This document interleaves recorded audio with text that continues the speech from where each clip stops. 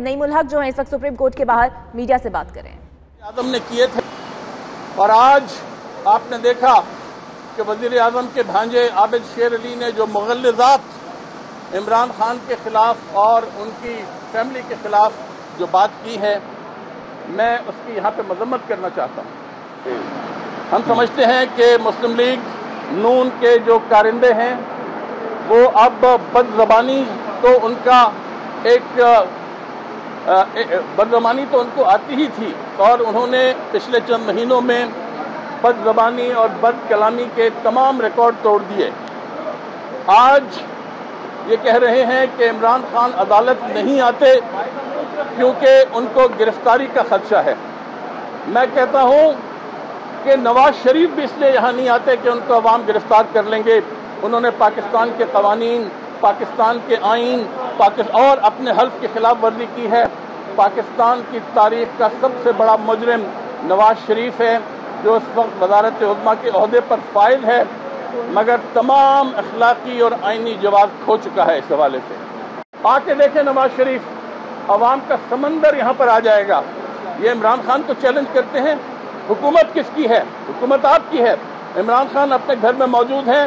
آپ جا کر پولیس کو حکم دے کے گرفتار کر لیں عمران خان کو۔ آپ کی ہمت نہیں ہے کہ عمران خان کو گرفتار کر سکیں۔ آپ کی ہمت نہیں ہے کہ پاکستان کے قوانین پر عمل درآمد کر سکیں یا کروا سکیں۔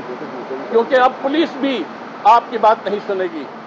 یہ پوری قوم اس بات پہ متفق ہے کہ وزیر اعظم جو ہے اب پاکستان کے اخلاقی اور آئینی طور پہ وزیر اعظم نہیں رہے۔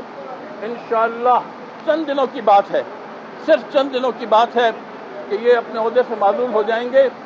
پھر ان پر مقدمہ چلے گا۔ ماڈل ٹاؤن کے چودہ جو قتل کیے گئے ہیں۔ پھر ان پہ مقدمہ چلے گا پاکستانی افواج کو بدنام کرنے کا، جو نواز شریف نے اور ان کی صاحبزادی نے وزیر اعظم کے ہاؤس میں بیٹھ کر پاکستانی افواج کے خلاف سازش کی۔ ان پر وہ مقدمے چلیں گے۔ ان پہ مقدمہ چلے گا کہ انہوں نے سن بانوے ترانوے میں ڈائیو کی جو اسلام آباد، لاہور کا ہائی وے ہے اس پہ آٹھ ارب روپے لیے۔ ہر پروجیکٹ میں جو انہوں نے کمیشن لیے ہیں، ان پر مقدمہ چلایا جائے گا۔ عوام کی عدالت میں مقدمہ ہوگا۔ قانونی عدالت میں مقدمہ ہوگا۔ تحریک انصاف اس جد و جہد میں پیش پیش ہوگی۔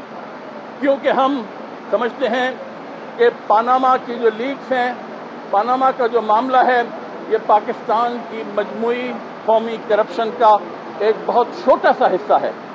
پاناما کا کیس ختم ہو جانے کے بعد پاکستان میں کرپشن ختم نہیں ہوگی۔ اس کے لیے تمام محب الوطن پاکستانیوں کو جد و جہد اور تیز کرنی پڑے گی۔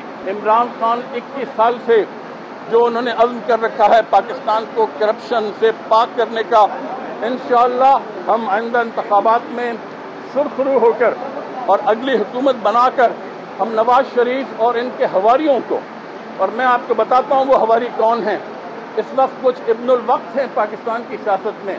فضل الرحمان بلوچستان کا chief minister, Zehri Achakzai, یہ وہ لوگ ہیں جنہوں نے نواز شریف سے مرات لے کر اپنا ضمیر بیچ دیا ہے۔ میں ان کو چیلنج کرتا ہوں کہ اصولوں پر آ کر بات کریں۔ اب یہ نواز شریف جب تمام الزامات ثابت ہو چکے ہیں، یہ نواز شریف کے دفاع کے لیے صرف صرف اس لیے کھڑے ہوئے ہیں کہ یہ چاہتے ہیں کہ اگر ان کو پتہ ہے نواز شریف گیا تو ان کا جو اقتدار ہے، ان کو جو لوٹ مار کی مہم ہے، ان کے جو لوٹ مار کے جو کاروائی ہے، وہ ہمیشہ ہمیشہ کے لیے ختم ہو جائے گی اور یہ لوگ خود زیر عطاب آ جائیں گے۔ تو میں یہ جو تین نام لیے ہیں، ان کے ساتھ ان کے اور بہت سارے لوگ ہیں۔ مگر ہم یہ بھی جانتے ہیں کہ نواز شریف کی اپنی صفوں میں مکمل انتشار پیدا ہو چکا ہے۔ نواز شریف نے اپنے وزراء سے جھوٹ بولا۔ ان کو بتایا کہ یہ دو ہزار پانچ میں فلیٹ خریدے گئے ہیں۔ اب ان کے وزراء کو بھی پتہ چل گیا ہے کہ یہ فلیٹ بانوے ترانوے میں خریدے گئے تھے۔ ان کے وزراء کو بھی پتہ چل گیا ہے کہ ہم ایک جھوٹ کی حمایت میں ہم نے پریس کے سامنے، قوم کے سامنے ہم نے خود جھوٹ بولا۔ ان کے وزیر بھی اب شرم کے مارے سر جھکائے پھر رہے ہیں۔ اور نواز شریف، مجھے افسوس ہے نواز شریف، مجھے خود شرم آ رہی ہے کہ پاکستان کا بچہ بچہ جن الفاظ میں آپ کو یاد کر رہا ہے ہمارے ہمارے سر شرم سے جھک رہے ہیں۔ کیا یہی وہ اقدار ہیں؟ کیا یہ وہی یہی وہ اصول ہیں جو اسلام نے ہمیں سکھایا، جو ہمارے قائد اعظم نے اس ملک کے لیے راہ تعین کی تھی؟ کیا یہی وہ ہیں کہ وزیر اعظم پوری قوم سے جھوٹ بولے اور جھوٹ بول بول کر قوم کو للکارے اور بچہ بچہ اس کے خلاف ہو جائے اور وہ کہے کہ میں نے استعفیٰ نہیں دینا ہے؟ اصل میں بات میرے خیال صحیح ہے، وہ استعفیٰ نہیں دیں گے۔ کیونکہ ان کا جو حشر ہونے والا ہے، استعفیٰ نہ دینے کی وجہ سے مجھے افسوس کے ساتھ کہنا پڑتا ہے کہ وہ قابل رحم ہوگا۔ ان کو اب بھی خیال آنا چاہیے کہ وہ اس ملک کو کس کن کانٹوں میں گھسیٹ رہے ہیں، کس کیچڑ میں لے کے جا رہے ہیں پاکستانی سیاست کو۔ ہمیں تحریک انصاف کو پورا اعتماد ہے، پورا یقین ہے کہ سپریم کورٹ کا فیصلہ سچ پر مبنی ہوگا۔ وہ پاکستان کی قوم کی امنگوں کی ترجمانی کرے گا۔ اور اس کے بعد ہمیشہ ہمیشہ کے لیے کسی بھی حکمران کو کسی بھی حکمران طبقے کے فرد کو یہ ضرورت نہیں ہوگی کہ وہ اپنے اختیارات کا غلط استعمال کر کے اپنے اختیارات سے تجاوز کر کے